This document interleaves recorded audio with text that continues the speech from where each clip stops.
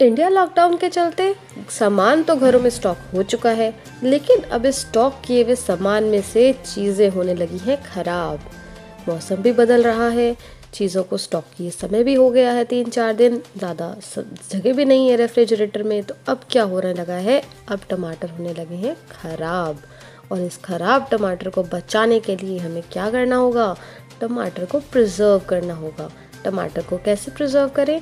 तो आइए इस वीडियो में देखते हैं कि किस तरीके से हम टमाटर को प्रिजर्व करें और उसको लंबे समय तक इस्तेमाल कर पाए। क्योंकि आपको भी नहीं पता, अभी लॉकडाउन पीरियड कितना बढ़ने वाला है। अभी फ़िलहाल लॉकडाउन पीरियड है 21 दिन का और हमारे को टमाटर का इस्तेमाल करना है 21 दिन तक। तो किस तरीके से टमाटर को प्रिजर्व करें, देखते हैं इस वीडियो में और हमारे तरीके से आप कम से कम टमाटर को दो या तीन महीने तक भी इस्तेमाल कर पाएँगे। आगे बढ़ने से पहले हमारे चैनल को सब्सक्राइब कर लें और नोटिफिकेशन बेल आइकन को भी हिट कर लें। सबसे पहले हमें टमाटरों को अच्छे से धो लेना है, कि उन पे किसी भी तरह की डर्ट डस्ट बैक्टीरियाज जो भी हैं, उसको आपको अच्छे से साफ़ कर लेना है। टमाटर धोने के लिए आप पोटेशियम पर का इस्तेमाल करें तो तो बेस्ट रहेगा बिकॉज़ वो सारे बैक्टीरियाज किल कर देता है।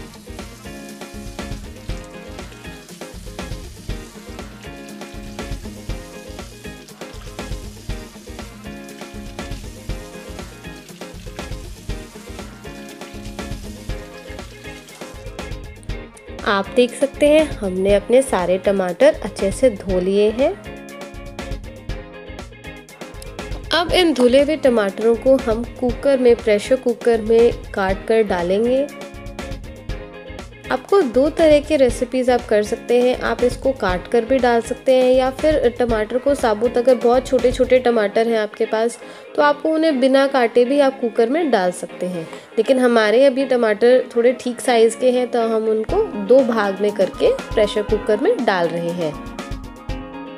टमाटर को जब भी आप काट रहे हैं तो उसके ऊपर का हिस्सा जो होता है, जो हरा हरा पार्ट होता है, वो आपको ज़रूर रिमूव कर लेना है।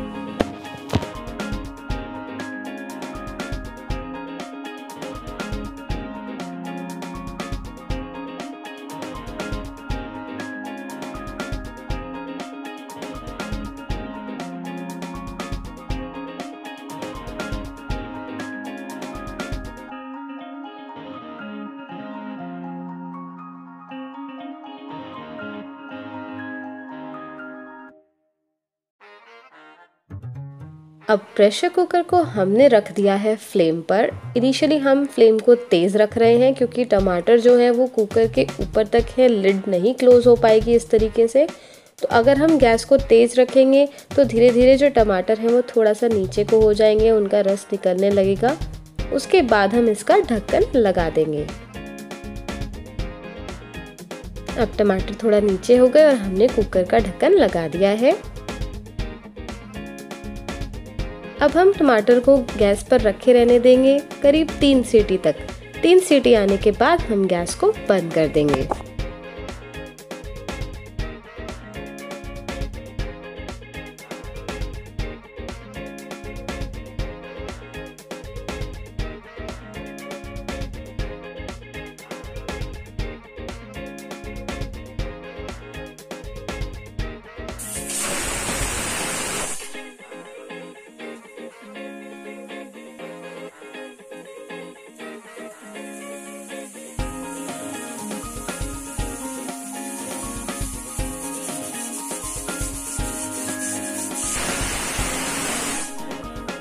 तीसरी सीटी बजने के बाद हमने कर दिया है गैस को बंद।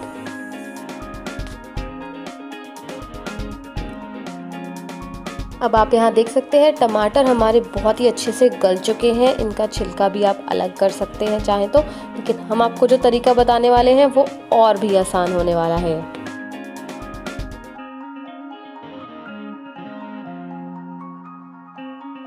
अभी हम इस कुकर को टमाटर समेत पड़े रहने देंगे थोड़ी देर के लिए ताकि ये अच्छे से ठंडा हो जाए। टमाटर हमारे ठंडे हो गए थे तो हमने एक छलनी की मदद से उसका रस निकाल लेना है इस तरीके से। टमाटर को हम ऊपर से डालेंगे, उसको स्क्वीज़ करते जाएँगे और उसका जो भी एक्स्ट्रा पानी है वो निकाल लेंगे नीचे।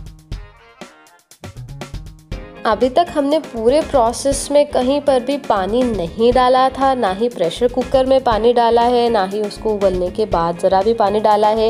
ये जो भी निकल रहा है, ये टमाटो का जूस है, टमाटो का रस है। आप आगे देखेंगे कि हम इस टमाटर के रस को किस तरीके से अपनी रेसिपी में इंक्लूड करेंगे।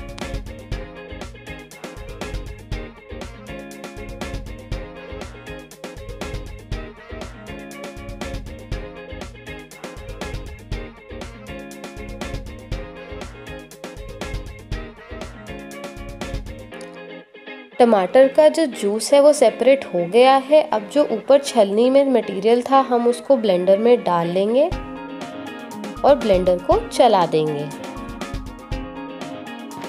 अब टमाटर के गूदे ने भी जूस की फॉर्म ले ली है। हमने जो पहले टमाटर का रस निकाला था, हम उसको भी और इसको दोनों चीज़ों को मिक्स करके एक पतीले में रख देंगे और गैस पर चढ़ा देंगे। गैस को हमने कर लेना है तेज़ पे। और इसको उबाल आने तक इसको अच्छे से पका लेना है।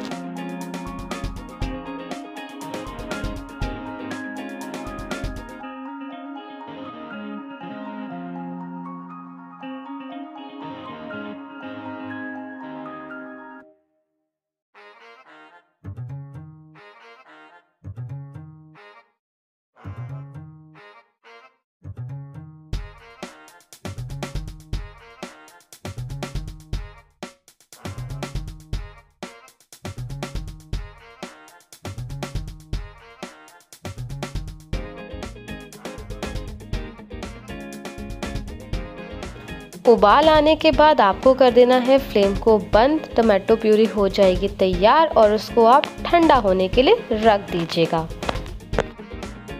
ठंडी हुई प्यूरी को आप अपने मन चाहे बर्तनों में स्टोर कर सकते हैं। स्टील के बर्तनों में स्टोर करें तो बहुत ही अच्छी बात है, लंबे समय तक के लिए अच्छे रहेंगे।